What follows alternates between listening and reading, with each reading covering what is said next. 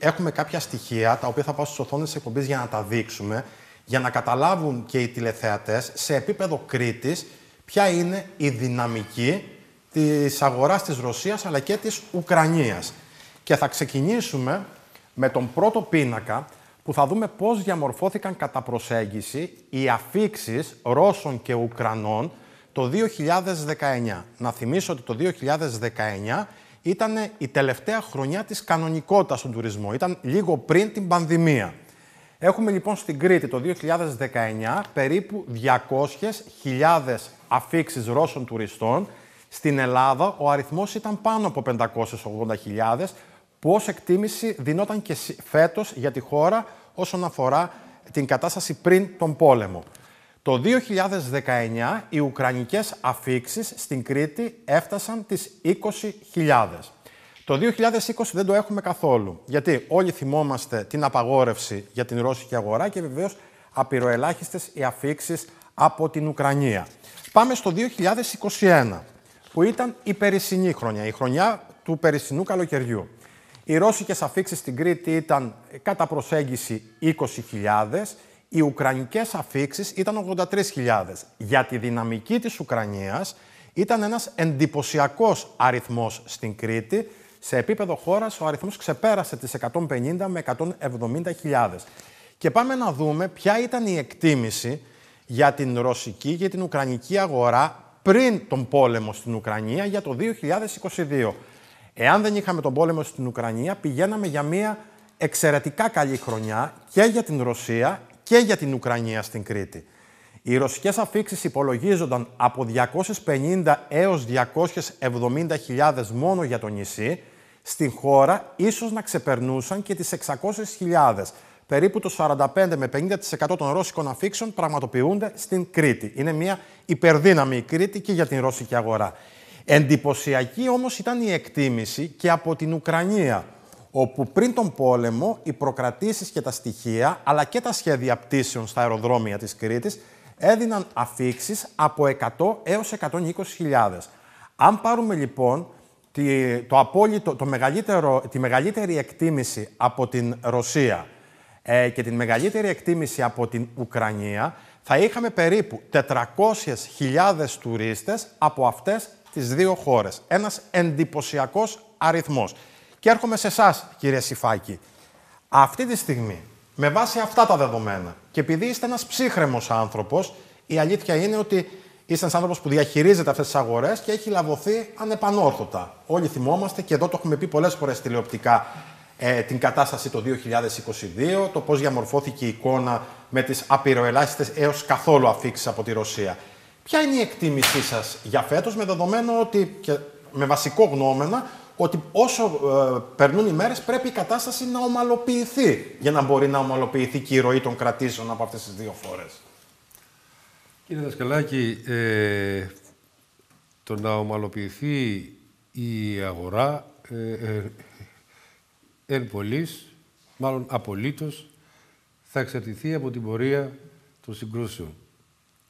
Εάν αυτά, αυτή η εμπόλεμη κατάσταση σταματήσει εγκαίρος και κατά τη δική μου γνώμη εγκαίρος σημαίνει μέσα στις επόμενες 7 έως το αργότερο 10 μέρες, ε, τότε θα υπάρξει καιρός να ανασυνταχθούν τα πράγματα, να μειωθούν, να ελαχιστοποιηθούν ή και να καταργηθούν οι όποιες συνέπειες οικονομικές ε, υπάρχουν για τη Ρωσία, ε, θα συνέλθει ο κόσμος, θα αποκτήσει άλλη ψυχολογία και σιγά σιγά φτάνοντας μέχρι το τέλος Απριλίου να αρχίσει κάποια κανονικότητα η οποία σίγουρα όμως θα επηρεαστεί οικονομικά από τις ήδη μέχρι τώρα συνέπειες που υπάρχουν από τα μέχρι τώρα μέτρα. Εάν δεν χειροτερέψουν και μείνουν εκεί που είναι, ε, εντάξει, ενδεχομένως η, η μείωση, εάν υπάρξει κανονικότητα, επαναλαμβάνω, να μην είναι τόσο σημαντική. Όμως, ρεαλιστικά. Αυτή τη στιγμή ε, οι tour operators και της Ρωσίας και της Ουκρανίας ε, κοντεύουν να καταστραφούν. Ε, δεν υπάρχουν αεροδρόμια, αεροπλάνα έχουν καταστραφεί, αεροπλάνα δεν μπορούν να συνεχίσουν το leasing το οποίο έχουν. Καταρχήν αυτή τη στιγμή υπάρχει αποκλεισμός για όλα τα ρωσικά αεροπλάνα έχουν, σε όλα τα ευρωπαϊκά ναι, αεροδρόμια. Αυτό όμως μπορεί να είναι προσωρινό. Βεβαίως. Εγώ μιλάω για πράγματα τα οποία μπορεί να α, κρατήσουν και τα οποία δημιουργούν οικονομική ασφυξία στους tour operators. Να υποθέσω ότι αναφέρεστε και στις υποδομές της Ουκρανίας που φαίνεται ότι αρκετές από αυτές έχουν ήδη καταστραφεί. Όσον αφορά το θέμα της καταστροφής των, των αεροδρομίων, ναι. Όσον αφορά όμως το θέμα της οικονομικής ζημιάς που έχουν ήδη υποστεί οι tour operators. Αυτό κατά βάση αφορά στους Ρώσους tour operators, οι οποίοι πρώτον δεν θα έχουν ανταλλακτικά. Ξέρετε τι σημαίνει ανταλλακτικά για ένα αεροπλάνο. Δεν έχουν στόκ ανταλλακτικών τα αεροπλάνα. Τα αεροπλάνα παραγγέλνουν τα ανταλλακτικά και με την επόμενη πτήση από 2 μέχρι 10 ώρες είναι πίσω. Άρα λοιπόν ε, αυτό έχει σταματήσει. Έχουν σταματήσει τα leasing. Πρέπει να επιστραφούν τα αεροπλάνα. Πρέπει να πληρωθούν πλέον με τη μορφή ε, βαθέων προκαταβολών. Ε, υπάρχει μια ασφυξία αυτή τη στιγμή. Ε, αυτή η ασφυξία αφορά βέβαια και στην ε, Ουκρανία, πέρα του ότι η Ουκρανία έχει και τις συνέπειες ε, του πεδίου.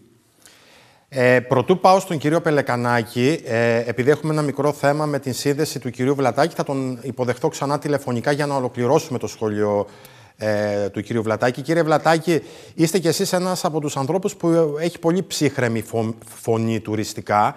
Θυμάμαι και τις εκτιμήσεις σας πριν από δύο χρόνια που ομολογώ όσον αφορά την πανδημία ήταν εκτιμήσεις που αυτό που είπατε αποτυπώθηκε λίγο αργότερα και μέσα από τους αριθμούς και αυτό οφείλω να το πω και δημόσια. Θέλω να μου πείτε αν αυτή τη στιγμή θα μπορούσε να σωθεί η παρτίδα για αυτές τις δύο αγορές γιατί οι εκτιμήσεις πριν τον πόλεμο ήθελαν στην Κρήτη περίπου 400.000 Ρώσους και Ουκρανούς τουρίστες.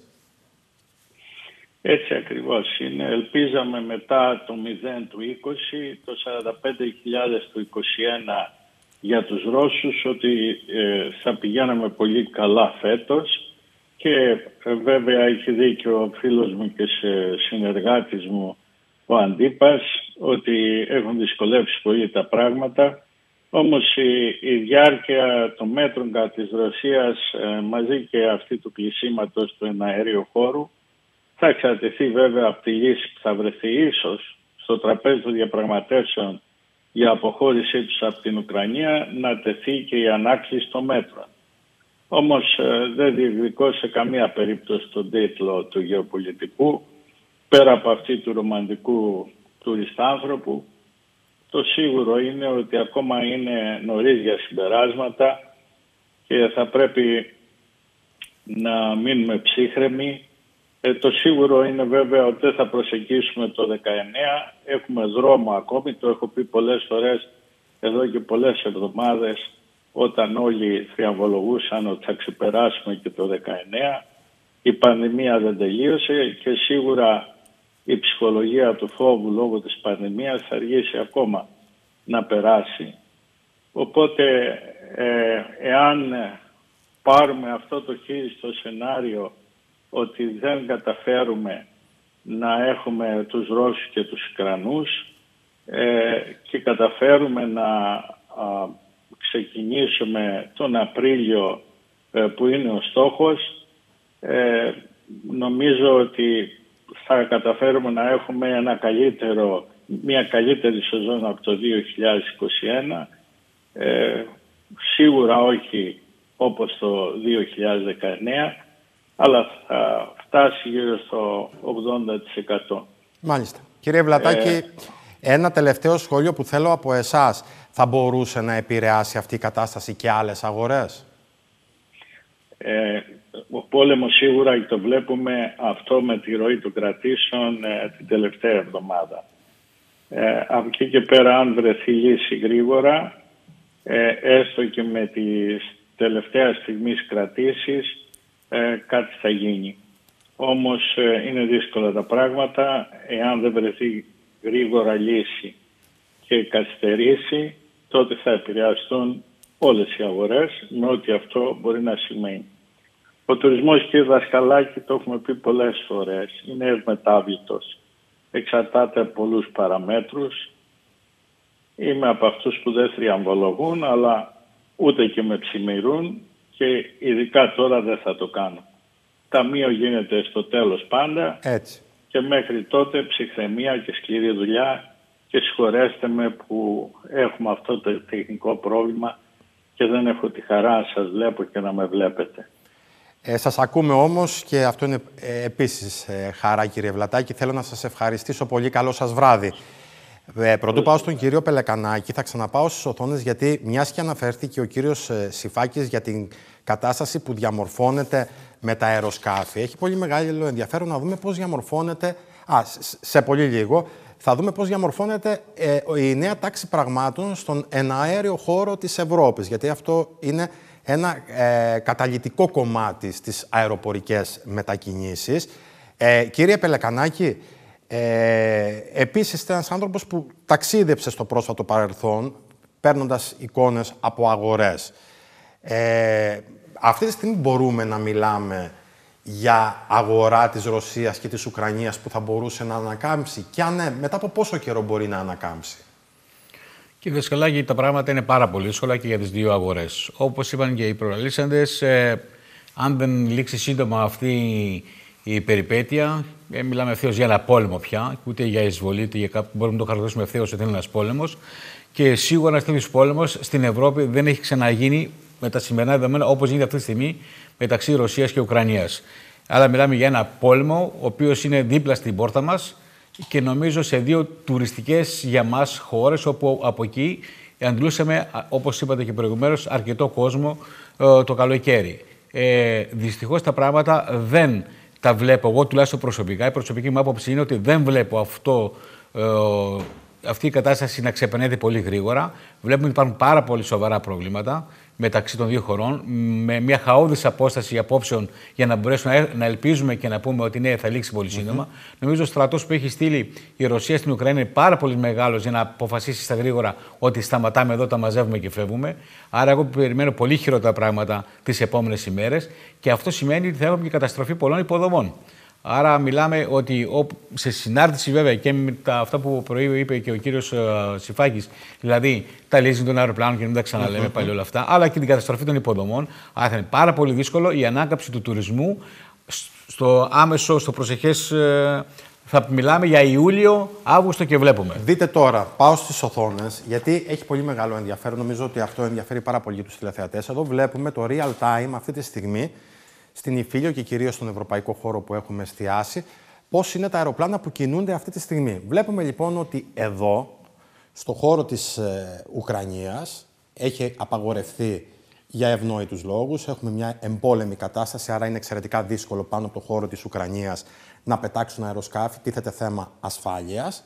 Με αποτέλεσμα οι ευρωπαϊκοί αεροδιάδρομοι να έχουν αλλάξει ριζικά. Θα σας πω λοιπόν ένα παράδειγμα. Ας λάβουμε υπόψη ότι ήταν ανοιχτός ο εναέριος χώρος της ε, Ρωσίας ή θα το πάμε από τη Σουηδία.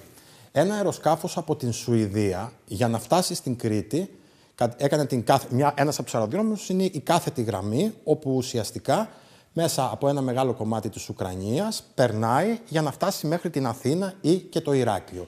Εδώ έχουμε εναλλακτικές διαδρομές. Σημαίνει μεγαλύτερο κόστος για τις αεροπορικές εταιρείες που πρέπει να κάνουν μεγαλύτερη διαδρομή για να καλύψουν. Μιλάμε για ένα τεράστιο χώρο πάνω από τον εναέριο χώρο της Ουκρανίας που ουσιαστικά στην αεροπορική γλώσσα είναι ε, το ghost area, δηλαδή είναι χώρος φάντασμα, έτσι αναφέρεται ε, στην αεροπορική διάλεκτο όσον, όσον αφορά την εμπόλεμη ζώνη πάνω από χώρες. Και την ίδια ώρα βλέπουμε ότι ήδη υπάρχει ένα τεράστιο πρόβλημα με τις αεροπορικές μετακινήσεις όχι μόνο στην Ευρώπη, γιατί πάνω από την Ουκρανία έχουμε μερικούς από τους πιο σημαντικούς αεροδιαδρόμους μετακίνησης από την Ανατολή, από την Ανατολή προς τη Δύση ή από το Βορρά προς το Νότο. Άρα αντιλαμβανόμαστε ότι αυτός ο όγκος των αεροσκαφών που κινούνται προς τις περιοχές της Ασίας, αλλά και ο χώρος από την Ασία που κινούνται προς την περιοχή της Ευρώπης, πρέπει να κάνουν ένα κύκλο. Αυτή τη στιγμή ε, βλέπουμε ότι υπάρχει μια μικρή κινητικότητα και πάνω από τον εναέριο χώρο της Ρωσίας, γιατί πρέπει να λάβουμε υπόψη και κάτι άλλο. Με δεδομένο ότι έχουμε μια απόφαση από πολλές χώρες που ουσιαστικά αποκλείει τις ρωσικές αεροπορικές εταιρείες να προσεγγίσουν άλλα αεροδρόμια, αντιλαμβανόμαστε ότι η συρρήκνωση της αεροπορικής δυναμικής στη Ρωσία φτάνει ακόμα και στο 70 με 80%.